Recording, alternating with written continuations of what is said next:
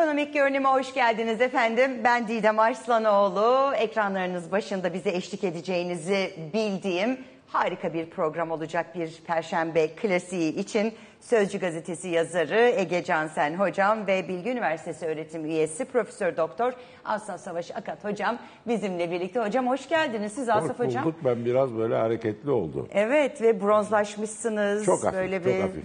Yani biraz yağmur her şeye rağmen hava kapalı.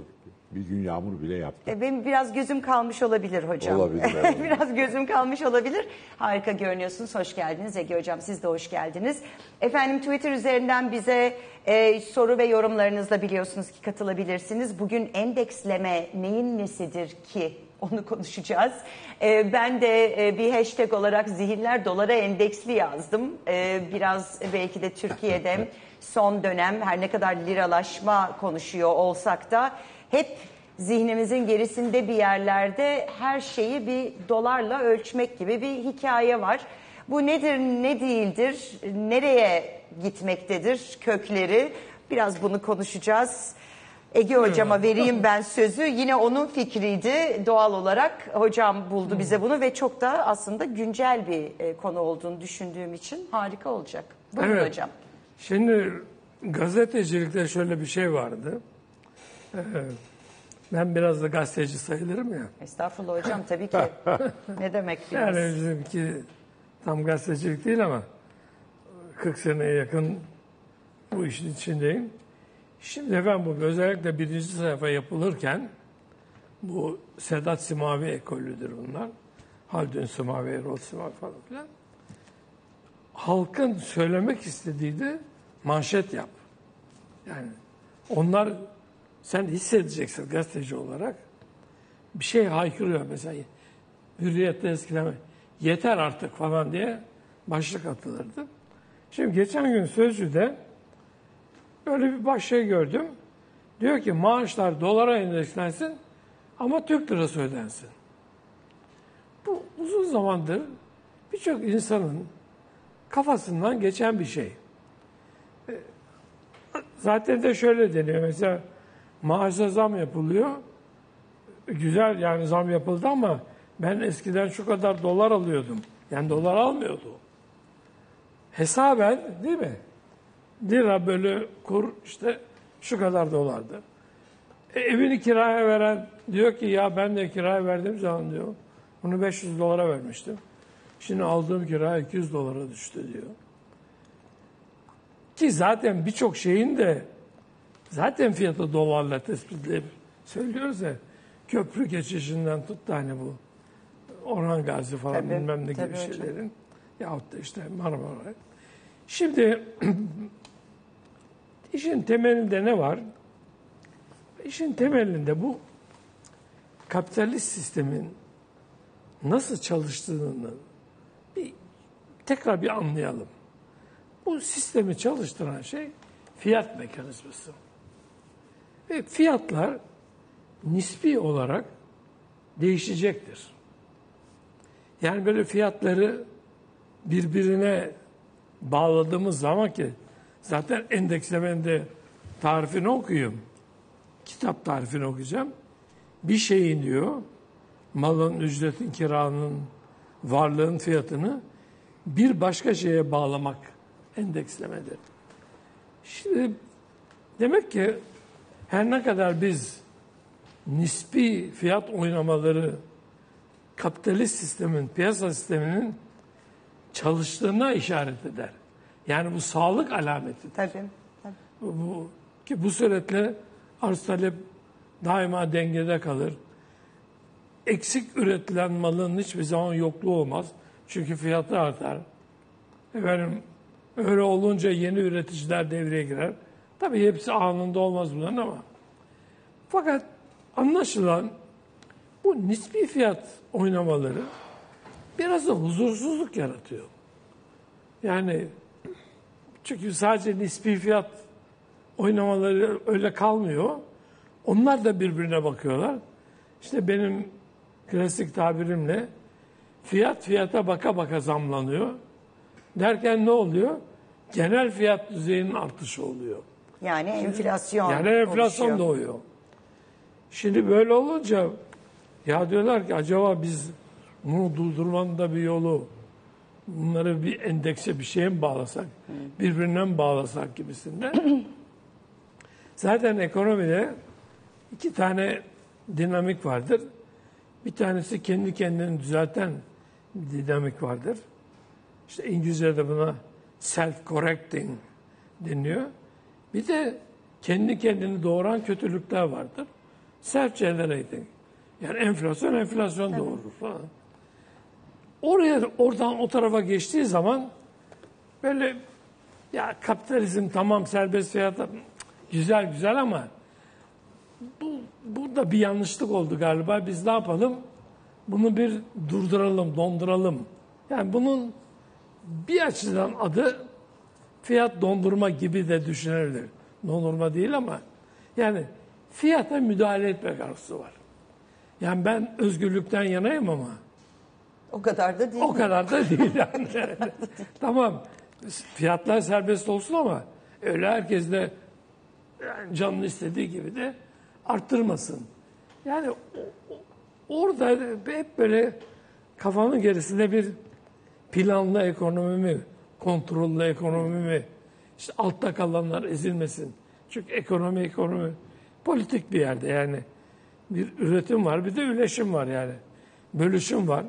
Bunları bozuyor ve bu hemen akla böyle işte onu ona bağlayalım, buna buna bağlayalım diye fikirler geliyor. Şimdi netice itibariyle endeksleme fiyat mekanizmasına, serbest piyasa sistemine aykırı bir şeydir. Ama var. Yani aykırı ama var. Niye? Çünkü zaman zaman böyle bir şeye ihtiyaç oluyor. Belki son bir şey söyleyeyim. Bu ilk endeks lafı zaten bu geçim endeksidir. Yani İstanbul'da İstanbul Ticaret Odası değil mi? En Evet. eski endeks o. İstanbul Ücretler Geçim Endeksi. Niye yapılmış bu? Ücretlere zam yapılacak ya. Ya bu bir referans olsun elimizde diye. İşte 100 sene kadar önce bu ya bilmem kaç sene kadar önce bu geçim endeksi. Şey de olur yani İngilizcesi de zaten CPI denilen şey Consumer Price Index yani indeks var yani sistem mantığında bir endeksleme var. O da demek ki bir ihtiyaçtan doğmuş. Ama dolara bağlama hadisesi bir miktar bizim özel bir problem bizden doğuyor. O da benim klasik lafımla çift paralı ekonomi olduğumuz için bir nevi Asam'ın tabiriyle dandik parayla oluşan fiyatları gerçek paraya endeksleyelim gibi bir şey oluyor. Hocam o e, dandik para söyleminizi ben ilk kez geçen hafta yayında duymuştum. O çok ses getirdi izleyicilerimiz arasında. E, bu arada tabii her hafta son derece güzel mesajlar da alıyoruz. Hemen e, birkaç tanesini de paylaşmak istiyorum. E, Sedat Bey demiş ki lütfen bu iki hocamızla haftada iki kez program yapsanız olmaz mı? Haftada 9 gün olsa 9 gün yapsak yetmez aslında E, ama onlar da hani bana ne kadar iki kere katlanabilirler bir hafta içerisinde bilmiyorum. Sağ olun. Osman. Sana katlanırız da. Teşekkür Gidip ederim. Böyle zorla iltifat ettirilir mi kendi kendine? Hakkı Bey diyor ki iyi yayınlar sizleri severek izliyoruz. Ee, hocalarımıza saygılar, sa- selamlar demiş Toprak Bey. Ee, Modern Rug Home Decor. Ya siz isminiz de yazmıştınız bana ama unuttum bulamadım da şimdi mesajlar içinde. Lütfen lütfen program iki saat olsun demiş kendisi. Bilal Bey diyor ki merhabalar e, gelirimizin TL olduğu bir düzende bütün giderlerimiz maalesef döviz cinsinden endeksleniyor. Bu durum son dönemde kendini şiddetli bir şekilde hissettiriyor. Bunun önüne geçilemez mi demiş. E, sizin bronzlaştığınızı ve güneş kremini ihmal etmemeniz gerektiğini söylüyorlar. E, Özlem e, Hanım'dan e, güler yüzlüğünüze bayılıyorum. Konuklarınızla olan sıcak sohbetinize diliyorum. Teşekkürler. Ben çok sağ olun. E, mesaj da uzun birazcık. E, bir doktor olarak sizi izlemek benim için terapi gibi demiş. Ekonomi ne olursa olsun bizim psikolojimiz iyi olsun diyor. Saygılarını iletmiş sizlere de efendim. Çok teşekkür ediyoruz. Asaf Hocam. Endeksleme konusundaki sizin e, giriş, yorum ve görüşünüzü alalım. Buyurun. Şimdi evet yani normal olarak piyasada oluşan fiyatlara e, iki anlama şey e, olabilir. Yani e, söylediği gibi bir, bir, bir yere bağlamak, başka bir şeye bağlamak anlamında olabilir. E, genellikle fiyatlar kendilerine bağlanıyor orada. Yani enflasyona bağlanıyor. Endekslediğiniz zaman esas yapılan enflasyonuna endeksleme şeklinde olur. Öbür taraftan da dondurma olabilir. Yani fiyatların biri birinde fiyatların artışı otomatik hale getirilebilir. İkincisi de fiyatların artışı durdurulabilir. Tabii fiyat deyince burada faktör fiyatlarını da katmak lazım. Yani ücreti, faizi, kirayı da katmak lazım. Yani onların da aynı şekilde. Ee, genellikle bu yüksek enflasyonla yaşamış ülkelerde e, görüyoruz yani aşağı yukarı bütün yüksek enflasyonla yaşamış ülkelerde bir şekilde ya işte ücretinin korunması için ya tasarruf sahibinin korunması için ya işte onun bunun netice itibariyle e, bu endeksleme dediğimiz olay oluyor. Türkiye hiçbir zaman böyle tam Latin Amerika'da olduğu gibi mesela İsrail'de o hiperenflasyon döneminde gene böyle bir endekslemeye gitmişti fiyat endeksi, fiyat ve gelirleri endekslemişti. Türkiye'de böyle bir şey olmadı. Yani ama giderek yavaş yavaş bizde de biraz e, yani bazı örnekler oluştu. Bunlardan bir tanesi e, emekli maaşlarında otomatik zaten bir endeksleme var. Yani belli bir sürenin sonunda ne kadar enflasyon gelmişse otomatikman o emekli maaşlarına yansıyor. Bu yeni, yeni değil yani epeydir var bu. Hı hı. Şu sıralarda anladığım kadar memur maaşlarına da yani çok memur olmadığım için çok o kadar yakından izlemiyorum ama memur maaşlarında da benzer bir şey var. Ee, dolayısıyla biz bir anlama böyle bir endeksleme yapıyoruz. Dondurmalar da yapılıyor. Yani fiyat dondurmaları da yapılıyor. Mesela işte kiralara %25 belli bir sınır dondurma getiriliyor. sınır getiriliyor. Ee, yani sektörden kendi sektörümüzden mesela üniversitelere galiba özel özel liselere de yani orta eğitime de bilmiyorum ama üniversitelere geçen sene e, bir fiyat artışında enflasyon kadar arttırabiliriz. Bir önceki yılın enflasyonu kadar şeklinde bir dondurma geldi yani fiyat dondurması bu. Ee, şeye bu da olabiliyor. Burada yani ikisi tabii aynı amaçlan değil. Ücretlerin ve diğer faktör gelirlerin endekslenmesindeki e, amaç bir şekilde enflasyonun gelir dağılımında zararlı çıkacağı düşünen kesimlerin bu zararını telafi etmeyi amaçlıyor. Yani böyle bir Tabii. şey var. Ee, öbürleri fiyat dondurmalar e, biraz daha ne olduğunu anlamak zor. Onlar da genellikle enflasyonu art, art enflasyondaki artışı engellemek üzere önerilir. Yani enflasyon arttığı zaman pek çok ülkede fiyat artışları e, önerisi gelir. Yani işte Amerika bu piyasanın şahıdır, e, padişahıdır filan denir. Ege emin- eminim hatırlıyordur. 1960'ların sonunda bayağı işte bir e, bu hani tam Bretton Woods'dan çıkış dönemi filan Vietnam böyle enflasyonun arttığı filan böyle bir dönemde e, bayağı böyle bir şey söz konusu olmuştu. E, price controls, fiyat kontrolleri. Fiyat kontrolleri. Tabii fiyat kontrolleri söz ana ana kalemler üzerinde şey yapması filan. Tabii bunların uygulaması zor oluyor.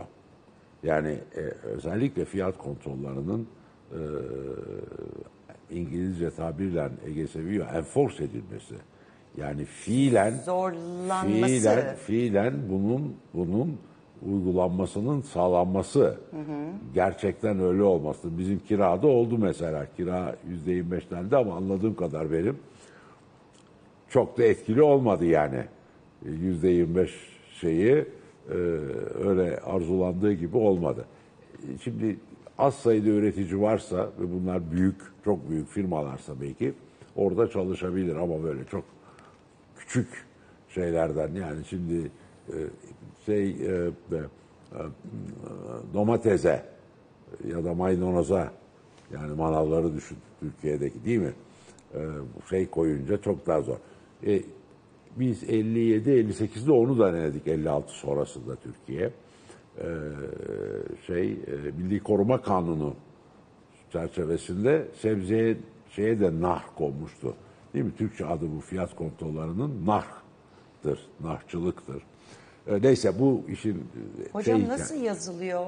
N-A-R-H, nar Nar. koymak, nar.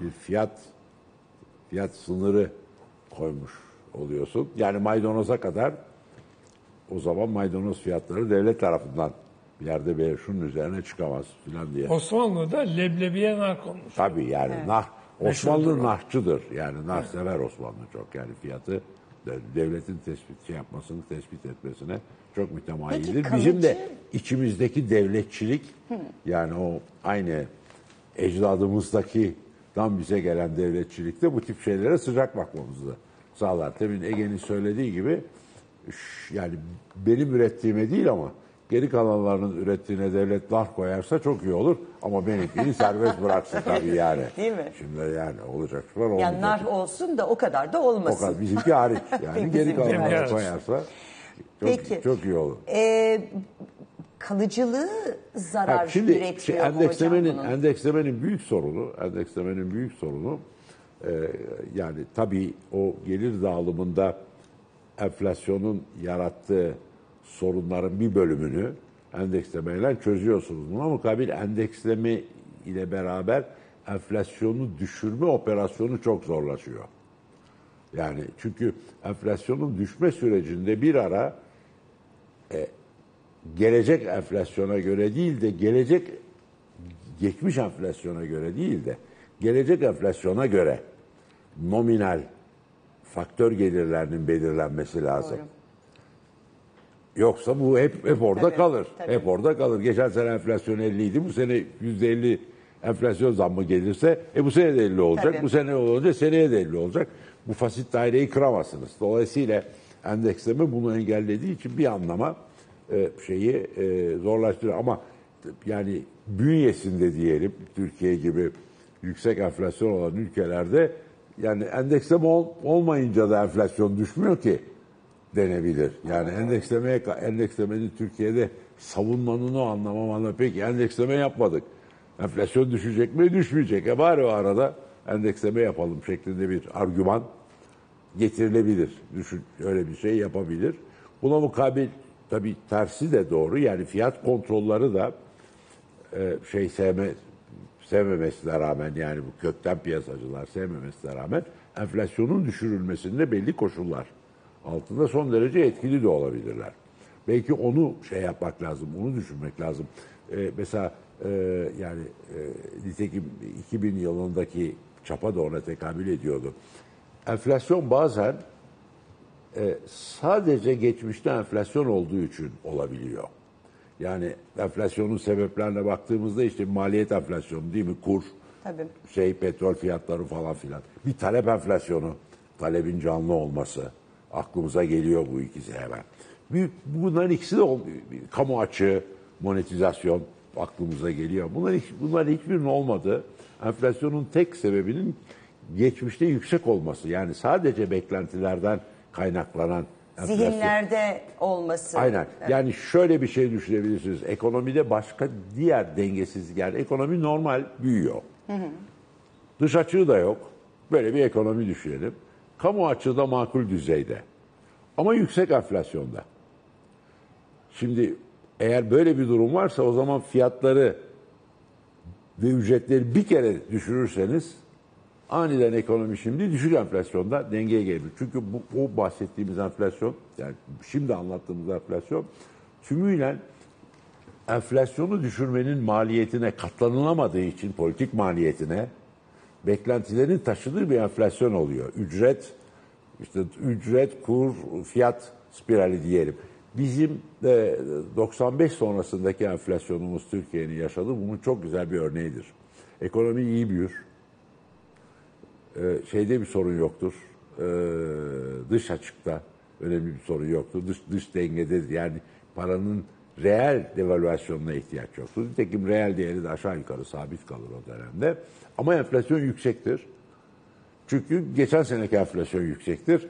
Bu sene düşürmek için o Bir hamle yapılması bir gerekir hamle ondan kaçınılır. E, ondan kaçınılır. O zaman böyle enflasyon şimdi o, o koşullarda o koşullarda eğer bütün fiyat ve ücretleri aniden dondurursanız enflasyonun diğer sebepleri olmadığı için Aslında yani düşürmüş maliyet kökenli enflasyon şey, o zaman kuru da donduruyorsunuz çünkü fiyatları dondururken kuru da donduruyorsunuz böyle her şey aniden ekonomi o yüksek fiyat yüksek enflasyon dengesinden bu çoklu denge deniyor buna ekonominin çoklu dengesi yani tamamen beklentilerden kaynaklanan yani e, bir enflasyon inersyada. Böyle bir şeyde o zaman bu don, fiyat dondurmada yararlı olabilir. Ama eğer eğer öbür dengesizlikler varsa yani kamu maliyesinde büyük bir dengesizlik varsa, büyük bir dış açıkta sorun varsa fiyat kontrollerine giderseniz o karakolda biter. Yani o enflasyonu düşürme o genellikle hiper enflasyona götürür. Yani fiyat kontrolü sizi hiper enflasyona götürür. Aynı şekilde endeksleme de hiper enflasyona götürebilir. Yani aynı süreci hızlandırabilir. Latin Amerika'da olmuştur. Şimdi e, bir reklam arasına gidelim ama dönüşte hangi koşullarda hangi tür e, girişimlerle e, bu, bu süreç yönetilebilir? Tabii. Endeksleme nerede işe yarar, nerede zarar yaratır? Bunları konuşacağız. Ben bizden ayrılmayın. Birazdan devam edeceğiz kaldığımız yerden.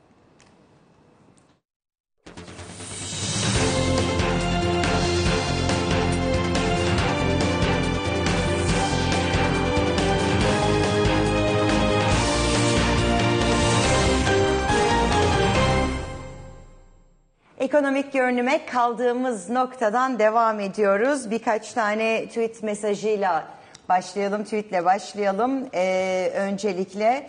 Özlem Hanım e, yolladığı mesaj içerisinde diyor ki aynı zamanda bu akşamki konuklarınız benim favorilerim. Çok şey öğrendim kendilerinden. Ee, sağ olsun Özlem Hanım teşekkür ediyoruz. Bora Bey 500 liralık banknot ne zaman basılır demiş iyi yayınlar. Ee, bilmiyorum gerçekten. Utku e, Bey e, en keyifli program çok mutlu oluyorum sizleri izlerken diyor. Ali Bey iyi akşamlar iyi yayınlar demiş. Ahmet Bey iyi akşamlar babam her hafta olduğu gibi not defterini aldı ve televizyonun önüne geçti. Ülkemizin çok büyük değerli olan hocalarımıza selamlar demiş. Biz de babanıza selamlarımızı iletiyoruz, saygılarımızı iletiyoruz. Sniper Snap izliyoruz, selamlar diyor Aygün. Ekonomiyi bize sevginizi katarak öğrettiğiniz için çok teşekkürler demiş. Ee, ve Tufan Bey diyor ki iyi akşamlar Didem Hanım sizin 3 saatlik program yapabilme kapasiteniz vardır. Neden mattan yayın yapmıyorsunuz? 4 cumartesi günü gece izleriz. Bence hocalarınız da hocalarımız da kabul eder. En azından bir denenmesini yapsanız enflasyon cari açık bir tartışsınlar artık uzun uzun demiş. Ee, Aygün e, Ensep diyor ki en doğru zaman doğru yer Ege Cansen ve Asaf Savaş hocam ile ekonomik görünüm. Teşekkürler demiş. Volkan Bey de Didem Hanım Aşık Veysel'in bir türküsünde Veysel neler satar narhı belirsiz sözü geçer. Türkünün adı dünyada tükenmez Murat var imiştir. Hocalarıma selamlar demiş. Evet çok teşekkür Ede- ediyoruz. Edebiyata kadar geldik. Hakikaten geldik geldik. Ne güzel program değil mi? Her şeye dokunuyor. Evet. Ee, Ege Hocam, evet şimdi biz sizle yayına girmeden önce siz dediniz ki birçok alet vardır. Bu aletlerin her biri bir işe yarar. Her birinin bir kullanım zamanı ve yeri vardır. Ama bazı koşullar da vardır ve bir sporcu benzetmesi yaptınız. Evet. İsterseniz hani değinmek ister misiniz bilmiyorum tekrar ama o da çok anlaşılır bir benzetmeydi. Ee, buyurunuz. Futbol, derin futbol e, bilgisi Ege'nin herhalde. Ya tabii. böyle bir program da yapalım bence. Evet, bir yani. spor programı da yapalım böyle. Hakikaten maçlardan sonra çıksak biz çok iyi anlatırız yani. Vallahi bence çok iyi anlatırsınız. Ben de bayağı tezahürat falan yapabilirim. Tabii türbün deneyimi olan Şimdi bir o- sunucu olarak. Doğadaki misal olarak söyleyelim bunu. Mesela bir sporcu, yüksek atlayıcı veya futbolcu veya tenisçi e, bunların bacakları falan gayet kuvvetli tabii. Burkuluyor bir şey oluyor işte. E, hatta kırılabilir. Ne yapıyor doktorlar buna? Sarıyorlar, sarmalıyorlar. Hatta alçıya alıyorlar. vücut kendi kendini tamir etsin diye. Ama amaç da neticede yine bacak eski haline gelsin. Şimdi alçıyı aldıktan sonra en çok üzerinde durdukları nokta bacağın erimemesi, adelelerin erimemesi. O alçı uzun sürerse bir daha eski haline gelmiyor.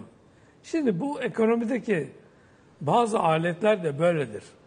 Yani serbestlik tamam koşacak, gidecek bilmem ne falan filan bir sakatlık geçirdi. Orada bir dondurma. Yani bu alçıya almayı dondurma şeklinde de alıyorum. Veya bir şeye bağlama, endeksleme gibi. Tavsiye edilmez ama yapılırsa muhakkak bunun kısa zamanda, yani kısa zamanda tabii bir netice alınmışsa çözülmesi lazım. Çünkü bir müddet sonra bu tedavi etmekten çok daha da zararlı hale geliyor. Bir daha eski haline gelmiyor.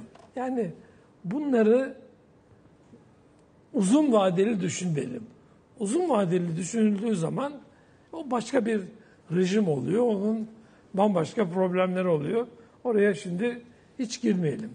Şimdi 1980 24 Ocak kararlar diye bir şey vardır. 79 senesi çok kötü bir seneydi. Yani daha doğrusu kötüleşerek geldi. Sonunda 79'da artık iyicene ekonomi çuvallamıştı. Fuel oil yok, mazot yok. İşte benzini karneyle alıyoruz. Ampul yok, margarin yok, bilmem ne falan filan. Derken işte bu meşhur Elektrik 24 yok hocam elektrik. Elektrik programlı lüks, olarak lüks lambaları vardı değil mi hocam? programlı olarak 4 saat kesiliyor. Bir de ara sıra da kesiliyor ayrıca falan filan. Yani böyle bir hadise. Neticede işte bu Demirel Kasım ayında yapılan ara seçimlerde 5 5 5 5 dedi neyse. 5 milletvekilliğini yaptı. Alınca Ecevit istifa etti falan. Sonunda 24 Ocak kararları geldi. Şimdi 24 Ocak kararları 1980 aslında bütün dünyada 1980 o günler bir değişim günleridir. Yani yeni bir rejimin açıldığı, bizim solcu arkadaşların sevdiği tabirle neoliberalizmin başladığı falan. Ben bu şeyleri sevmiyorum ama böyle de telaffuz ediliyor. İşte burada yok üç tane esas var. Fiyat istikrarı, serbestleşme, özelleştirme diye. Turgut Özal da daha önce e, konferanslar falan da oluyor, toplantılar oluyordu. Bir aralık Sabancı grubunun da başına geçmişti falan. Bir toplantıda beraberdim ben Turgut Özal'la. İşte bilmem nenin fiyatı yüksek falan. Dedi ki en yüksek fiyat olmayan fiyat, malın fiyatıdır dedi. Yani fiyatı veriyorsun ama mal yok. Mal yok. Tabii. Ve o, bu 24 Ocak kararlarının gerisinde bu felsefe vardı. Ve dedi ki işte 70 liraya çıkarıldı dolar falan. Bu enflasyon, devalüasyon çünkü frenlendi çünkü fiyatlar 1980'de yüzde 106 oldu enflasyon. Ama aslında yüzde 106 olmadı. 1979 baskılandığı için orada sahteydi fiyatlar. Burada yüzde 106'ya çıktı. Turgut Özal da ne kadar enflasyon o kadar devalüasyon diye bir şey yaptı. İlk defa Türkiye'de işte bu döviz fiyatları serbest bırakıldı. Sonra Temmuz ayında da faizler serbest bırakıldı. Şimdi bundan sonra peki ücretler ne olacak deyince endeksleme yapacağız dendi. Ben gayet iyi hatırlıyorum. O endeksleme deyince ben de meraklıyım falan işte biliyorsun bir hocalığımız da vardı Marmara Üniversitesi'nde. Bu İbrahim Eriş diye bir profesör vardı. Brezilya Merkez Bankası'nda başkan olmuştu. Brezilya'da da bu endeksleme kullanılıyor. Hatta Brezilya'da bir laf vardı. Varmış tabii ama biz de okuyoruz. Enflasyonla mücadele edemiyorsan enflasyonla yaşamasını öğren. Endeksleme de bunun bir tanesi. Yani ondan nasıl yaşayacağız? Enflasyonla yaşamanın bir yöntemi de endeksleme. Biraz önce Asaf Hoca'nın da dediği gibi kritik konu şimdi enflasyonu ileriye mi taşıyacağız? Çünkü ha o zaman neden yok bir dakika. Öyle yapmayacağız. Ne yapacağız biz? Çünkü e, bu geçim endeksi ya tüketici fiyat endeksi hep geçmişi ileriye taşır. Bu endekslemede ise hükümet ileriye dönük bir enflasyon tahmininde bulunacaktı. Ve ücretler o kadar artıracak. Mesela yüzde yüz altıyla gelmiş ama diyecek ki önümüzdeki sene bu yüzde altmış olacak diyecek. Herkes ki o nasıl olur yüzde yüz? Ya onu yapamayız. Çünkü o zaman ileriye taşırız. Ama eğer bizim öngörümüz tutmazsa aradaki farkı sonra kapatırız. Şimdi burada çok ince bir nokta var. Aradaki fark sonradan kapatılsa bile yine de o dönemde fiilen satın alma gücü düşüyor. Tabii. Reel ücret düşer bu hesapta. Evet. Aslında gizli fren orada. Yani gizli fren orada. İleriye dönük. Şimdi bugünlerde de bu uygulanıyor hala Türkiye'de. Biraz önce Cumhurbaşkanımızı dinliyordum. İşte işçimizi enflasyona ezdirmeyeceğiz. Emeklimizi ezdirmeyeceğiz falan filan. Enflasyona ezdirmeyeceğiz. Burada da tabii yine iki tane problem var. Bir defa hangi endeksi kullanıyorlar? Bu bir, burada biraz işler karışıyor. Bir de bu ileriye dönük olduğu zaman ezdirmemek mi oluyor? Yoksa arada ezdiriyor musun? Çünkü fiilen adamın satın alma gücü düşmüş Düşüyor. oluyor. Evet. Endeksleme böyle bir hadise. Bir müddet belki kullanılabilir ama sonunda varmak istediğimiz nokta fiyatların nispi olarak oynaması ve serbestliktir. Yani burada bir Şimdi e, Toprak Bey demiş ki Asaf Hoca'ya atıfla diyor. E, siz biraz önce değindiniz çünkü hocam. E, devlet 2022 yılına ait yeniden değerleme oranını %122.93 olarak belirledi. Vergi harçlar buna göre zamlandı ama faiz zamlara müsaade etmeyiz denilerek kiralara %25 özel öğrenim kurumlarına da %65 sınırlama getirmişti. Sonra da adalet mülkün temeli demiş e, Toprak Bey. Şimdi Asaf Hocam e, içeride uygulanan hani o metafor işte alet edevat içerisinde KKM'de var örneğin liralaşma stratejisi diye e, takip ettiğimiz ama e, aslında dolara endeksli zihinleri belki de biraz rahatlatmak için e, ortaya çıkan bir alet, bir uygulama. Enstrüman. E, bir enstrüman, evet. Ve e, 9 yani- Haziran haftasında da 2 trilyon 576 liraya ulaştı. Ben hani o dipnotla birlikte size vereyim Yani o sözü. liralaşma şey gibi George Orwell'in şeyleri vardı 94 1984'te çok güzel böyle şeyleri vardı. Barış savaştır ya da savaş barıştır filan gibi. Yani liralaşma da öyle bir şey yani.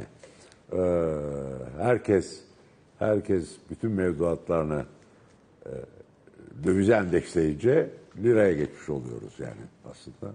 Dolayısıyla hoş bir şey yani. Ee, ilginç bu dil de nasıl bu şartlara uyum sağlıyor. Alçı nasıl bir şey nasıl bir şey anlamının tam tersini. Evet. yani tam daha, zıt olamaz çünkü yani.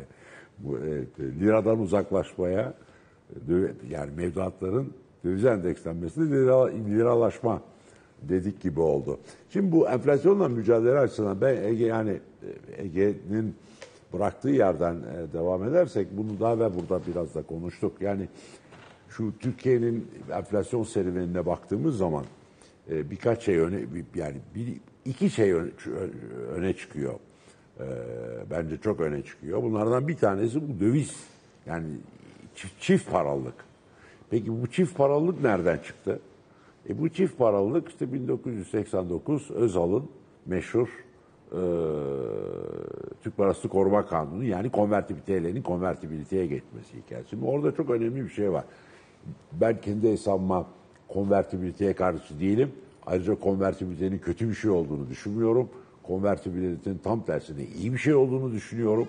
Ancak ve ancak konvertibilitenin ön koşullarından biri evvela ülkede enflasyonun olmaması. Yani ülkenin sağlam bir para ol, parası olması lazım. Sağlam bir parası olan ülke konvertibiliteye geçer. Aksi takdirde ülkenin parası sağlam değilse konvertibilite dolarizasyon davetidir. Yani ülkeyi çift paralı yapma davetidir. Dolayısıyla bir süre sonra yüksek enflasyonda insanlar haklı olarak çünkü ölçü birimi değil. Geçen sene bunu kaça almıştın hatırlamıyorsun. Geçen sene gelirin kaç liraydı onu da hatırlayamıyorsun. Habire yüzde altmış, yüzde yetmiş her sene yani 90'ları hatırlayalım.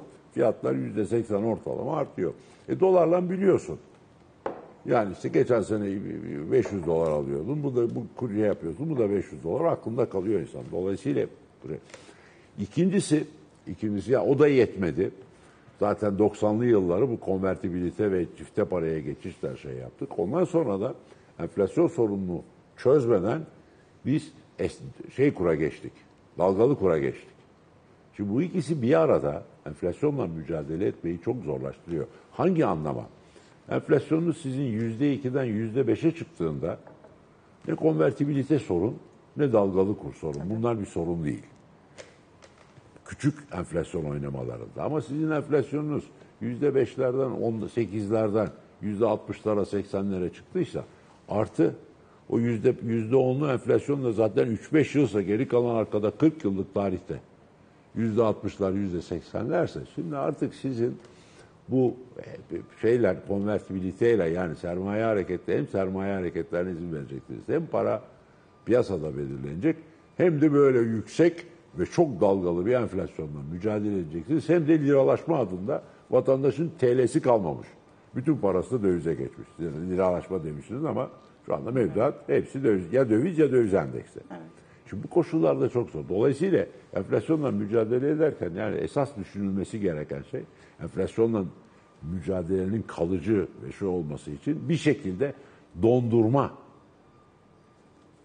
olayıdır. Yani endekslemenin tersi olan dondurma olayıdır. Yani acaba biz Alçıya alma durumu. e tabii yani Türkiye'nin icabında geçici bir süre için e, hem sermaye hareketlerine ciddi bir kısıtlama, objektif, nesnel, öngörülebilir bir şekilde bir kısıtlama, hareketlere kısıtlama getirmesi hem aynı zamanda esnek kurun dışına çıkması. İşte o zaman aniden fiyatları da dondurabilirsiniz.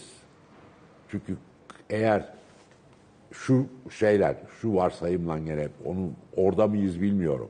Eğer şu anda Türkiye'nin başka şeyi yoksa dengesizliği, yoksa makro dengesizliği, yani maliyede, bütçede bir sorunuz yoksa, eğer dış açıkla ilgili de bir sorunuz gözükmüyorsa o zaman fiyatları da dondurduğunuzda ekonomi hakikaten hızla, çok büyük hızla bir düşük enflasyon dengesine doğru gidebilir. Ama bunu konvertibiliteyle yani sert sermaye giriş ve çıkışlarıyla ve de dalgalı kurla yani müthiş hareketli Oynaklık kur oynaklığına yapamazsınız. Yapamazsınız. Dolayısıyla iş gene uzayacak demektir. İş uzadıkça da zaten TL'ye güvenmeyen vatandaşın güveninin tesisi de Zorlaşır. gecikecek demektir. Geciktikçe de enflasyon, o beklenti enflasyonu devam edecek. O sarmal işte o sarmal. sürecek. Aynen, aynen. Evet. yani. Peki çok teşekkür ediyorum. Şimdi bir reklam arasına daha gideceğiz. Bu arada e, Merkez Bankası'nın rezervi de bugün açıklandı. Bütçe e, baktığımızda net rezervler e, e, geçen hafta bir önceki hafta 5.7 milyar dolardı. E, tarihi düşük seviyeye gerilemişti. Eksi 5.7 idi. E, onu da e, not edelim. Eksi 3.17 milyar dolara yükseldi. Bir miktar bir iyileşme oldu. Haftalık veriydi. Onu da paylaşmış olayım. Bir reklam arasının ardından ekonomik görünüm devam edecek.